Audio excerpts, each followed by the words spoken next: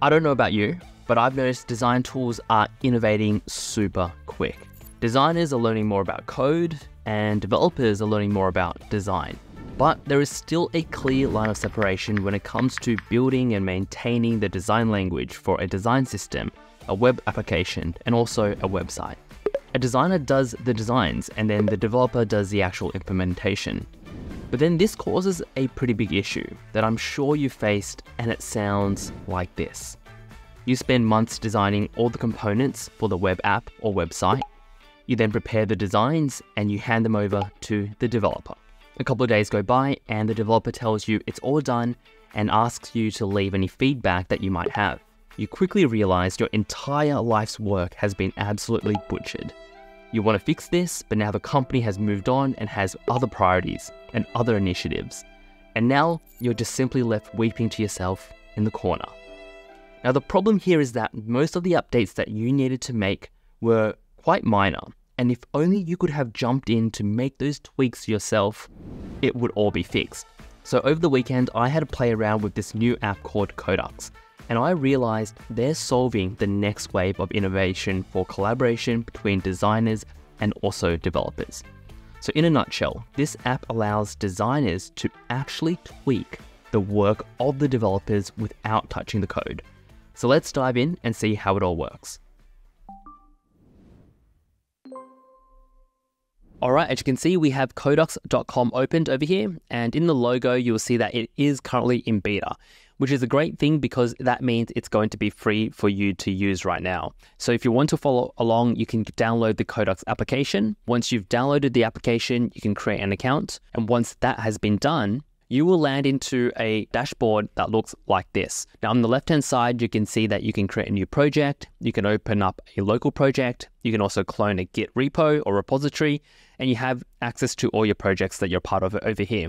So, if we select new project, you can see that Codux has already created a few different starting points. And here, let's just imagine that we are going to be working on an e-commerce store. So we're going to be designing and also building and managing all the components for an online store for one of our clients. So you can click on e-commerce starter. You can type in the project. So maybe Mizko's merchandise, because I'm going to create a store for all my merch. And you can save it to any uh, folder on your desktop. So because I've already created the project, I'm just going to close out of it, but you can hit create. And once you have opened up the project itself, you'll see an interface like this. In the top, you can see that we are currently in Mizko's merchandise project. We are currently on the main branch. Now, we also on the right hand side have some features such as committing our changes. Currently, I have not made any changes to any of the components as a designer, so we can't commit. I can also sync and publish this project. So once all the changes have been made, I can commit them to the branch. I can also sync and publish all the changes and the project itself. We can also share.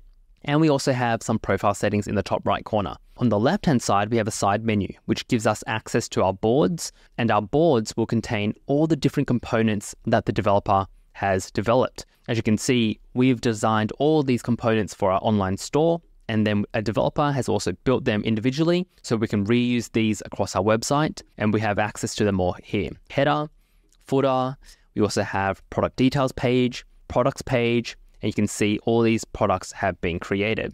Over in the bottom left corner, we have access to all the files. So in our Mizko's merchandise folder, we actually have a bunch of files that are actually required for this project to be a working website, pretty much. But this isn't actually a working website just yet. This, these are just the files in our local folder. In the bottom left corner, we also have access to our Git and also scripts. So as a designer, let's just focus on the design use case. Let's say on these product cards, we want to make a few different changes. So I'm going to open up our products page and then I'm going to click on products gallery page.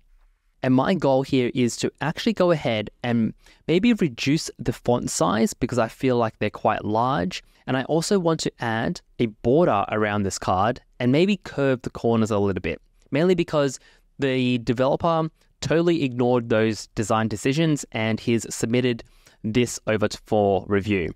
So instead of having to go into Figma and make those changes, then ask the developer to do it again, we can actually go ahead and double click onto one of the cards. So I can make sure that the card is selected. So just making sure that we are in the products page and I can make sure that I have selected this component over here, which let me just make it larger. We have selected the product card. On the right hand side, you can see that very familiar and very similar to other design tools, you have all your styles over here. But the thing here is any changes that we make and we commit, it means that the developer can approve those changes and they will be amended to the live code base. Once again, you have access to all your different layers and groups. On the right hand side, you have access to all your styles. So let's say we actually want to go ahead and add a border. So under border, change the number to one pixel and clicking on the color, I actually want to use the charcoal that's been set in the design system. And then I also want to give the corners maybe an 8 pixel border radius. And you can see very quickly we've added a nice neo brutalism style card. We also want to round the corners of the image as well so they don't span outside of the rounded corners. So selecting the product card, I can double click onto the image and make sure that the image is selected. We can go down to corners and also round them to 8 pixels. And I can select the dev root. I can actually click on in the breadcrumbs products page, zoom out, go back to the initial previous view, and it's looking pretty good. Now, if we also want to make the font size for this text, double click and select the text itself. Sometimes selecting the actual text won't give you the styles because we actually have to select the p tag, which is the paragraph tag. And under selectors, we actually want to click on price, and that will give us access to all the styles. So this way, we can actually go ahead and take a look at the font size. We might want to change it from 24 to maybe 18 pixels. That looks a little bit better. Maybe it could be 20 pixels. That looks pretty good. I think it was a little bit too large before. Now, one quick thing to note is that over on the right hand side, under your selectors and the three dots, you can click on view code, and this will actually give you access to the raw CSS for this project, and you can actually make the amendments over here as well. So Codux is not just a no code tool, you can also dive into the code itself to make these changes or these amendments. And if I want, I can select products gallery page board. That takes me back to the previous view. And now this looks a little bit better. It looks a little bit more welcoming. Rounded corners feel a little bit more approachable. The font sizes are, are better, and also the rounded corners on the image just makes this feel a little bit more fun. So as you can see in the top right corner, we have commit three, which means that we have three changes in this component that have not been technically saved just yet. So they are reflected on our view, but if we want everyone else to get access to these changes that are part of this project, we hit commit and we can say updated card designs. We can commit that and as you can see, changes committed locally, remember to push when you want to share. So we need to actually go ahead and sync this. And if we have connected this application for Codux to the actual repo that the developers are working on, then they will get notified that these changes have been made. Someone will approve your changes, and all your changes will then be loaded into the live production website. So, as you can see very quickly, you are starting to move out from just the design tool and you are actually making live changes to the components that have been built by developers without touching a line of code.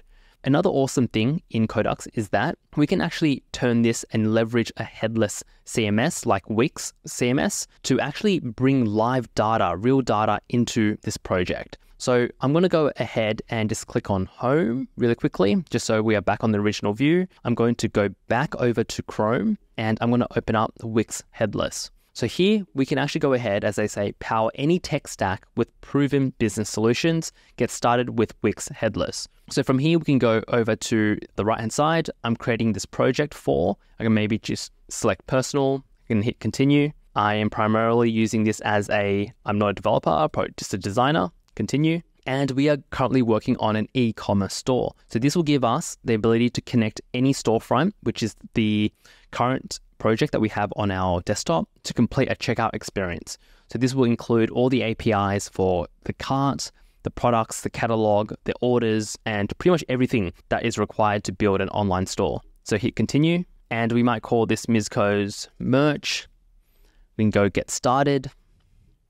All right, so from here, we need to go ahead in the bottom.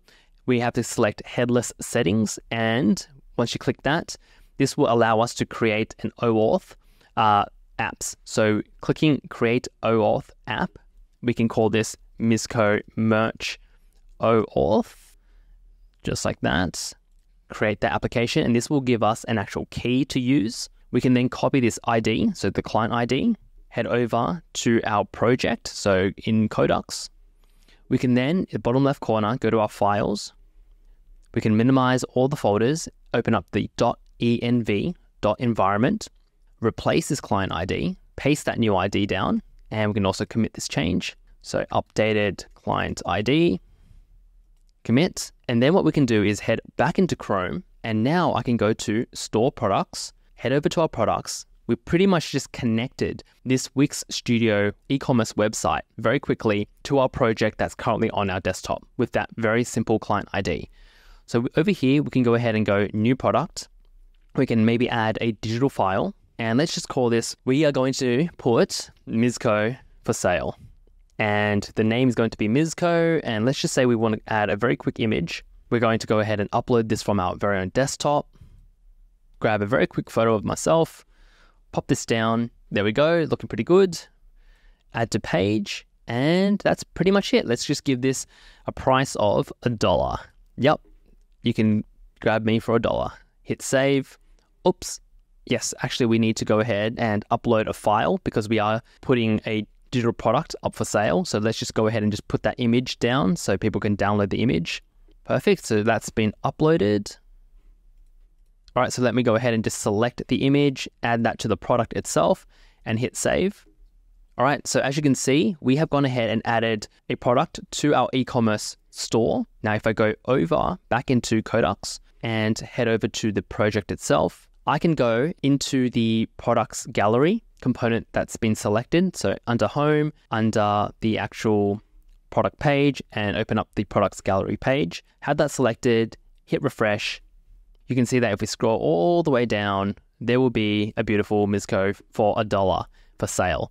As you can see, very quickly as a designer, you are starting to bridge that gap between yourself and the development world. Not only are you making updates to live and real components that the developers have made and really streamlining that process from constantly going back and forth refining things. You can actually go into the code base and with a no code tool actually making changes to these components in real time and also be able to commit and publish these changes with real data all within one app. So here are my final thoughts in the coming few years, the need for designers and also developers to collaborate intensively is simply going to increase. More of the front end responsibilities will be pushed over to the designer. So then developers actually have more time to focus on the intensive logic and also on the back end side of things. Now, if you are interested in checking out Codux, it is in beta and it's also for free right now. So feel free to check the link in the description and if you enjoy this video, make sure to gently smash that like button, subscribe for the Die Hard fans, and if you want to continue learning, you should definitely check out this video.